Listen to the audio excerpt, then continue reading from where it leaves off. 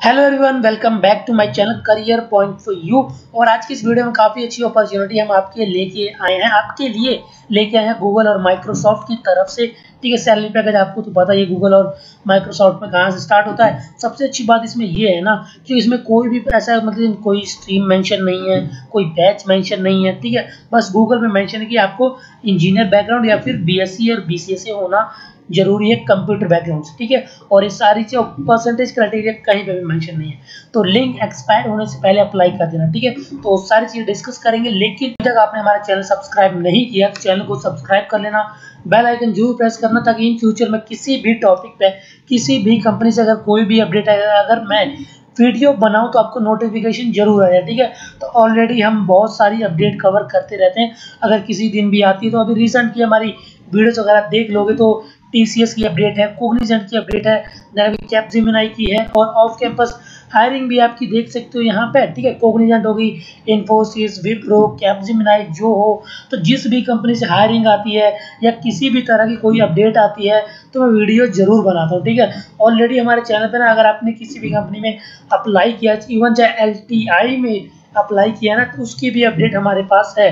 तो एक बार आप हमारे चैनल पे गो थ्रू हो सकते हो, ठीक है? तो चलो अपने टॉपिक स्टार्ट करते हैं वन बाय वन हायरिंग जो मेरे को लग रही है ना गूगल की तरफ़ से जो आई है आप सभी के लिए तो मैं सबसे पहले चलता हूँ पोजीशन रिस्पॉन्सिबिलिटी से पहले मिनिमम क्वालिफिकेशंस पे, ठीक है?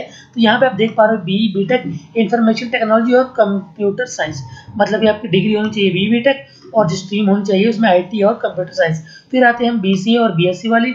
उसमें भी आपका कंप्यूटर से रिलेटेड होना चाहिए, ठीक है? और दूसरा आपकी एक्सलेंट कम्युनिकेशन स्किल होना चाहिए और ज़ीरो से लेकर डेढ़ साल तक एक्सपीरियंस है तो अप्लाई कर सकते हो। अब बात करते हैं प्रेफर्ड क्वालिफिकेशन मतलब कि फ्रंट एंड टेक्नोलॉजीज़ की आपको नॉलेज होनी चाहिए, जैसे कि जावा हो गया जावा स्क्रिप्ट हो गया जैसे सीक्वल हो गया, ठीक है? उसके बाद नेटवर्किंग की नॉलेज होनी चाहिए। नेटवर्किंग में जो एचटीटीपी होता है देन डीएनएस होता है एसएसएल होता है, इन सब की भी नॉलेज होनी चाहिए आपको। ठीक है, और भी मतलब कि फ्रंट एंड की टेक्नोलॉजी की तो बेसिक नॉलेज तो इतनी नॉलेज तो ऑब्वियस सी बात है, अगर आप इंजीनियर बैकग्राउंड से हो, चाहे आप बी या बीएससी में कंप्यूटर बैकग्राउंड से हो तो ठीक है।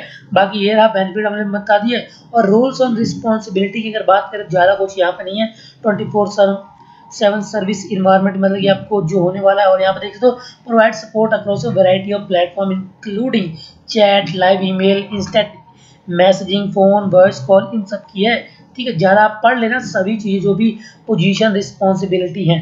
क्योंकि मैंने आपको क्वालिफिकेशन प्रेफर्ड और मिनिमम क्वालिफिकेशन के बारे में बता दिया, जो आपके लिए ज़रूरी थी, ठीक है? अगली अपॉर्चुनिटी एक आपकी ना माइक्रोसॉफ्ट की, क्या बोलते हैं रिसर्च इंटर्न की है, और इसमें अप्लाई करने के लिए आपको मिनिमम क्या बोलते हैं क्या बोलते देख सकते हैं आप ग्रेजुएट पोस्ट ग्रेजुएट या डॉक्टरल में इनरोल होना चाहिए मतलब कि ट्वेंटी वाले आप होने चाहिए। अप्लाई करने के लिए आपको कुछ नहीं करना है जस्ट यहाँ पे अप्लाई नाउ पर क्लिक करना है, आपको एक चैनल पर तो अप्लाई नाउ पर बस आप क्लिक करोगे, एक मतलब कि एक पर्टिकुलर न्यू टैब पे आपको लोड करेगा और वहाँ पे आप अप्लाई कर सकते हो, ठीक है? तो दोनों, चाहे गूगल हो गया, चाहे हो गया आपका माइक्रोसॉफ्ट जिसमें भी आप एलिजिबल हो, क्योंकि दोनों में जस्ट आपको ग्रेजुएट होना है, चाहे आप नॉन इंजीनियर हो, चाहे आप इंजीनियर हो, क्योंकि गूगल में भी देख सकते हो और माइक्रोसॉफ्ट में ठीक है? और 23 है आपका माइक्रोसॉफ्ट पे और गूगल में तो आपका एटीन से लेकर 23 किसी के बीच हो तो अप्लाई कर सकते हो, क्योंकि वहाँ पे मेंशन नहीं किया गया है पर्टिकुलरली ठीक है? तो बस फिर आज की वीडियो में इतना ही। मिलता है आपको नेक्स्ट वीडियो में नए टॉपिक के साथ। Thank you so much watching have nice day bye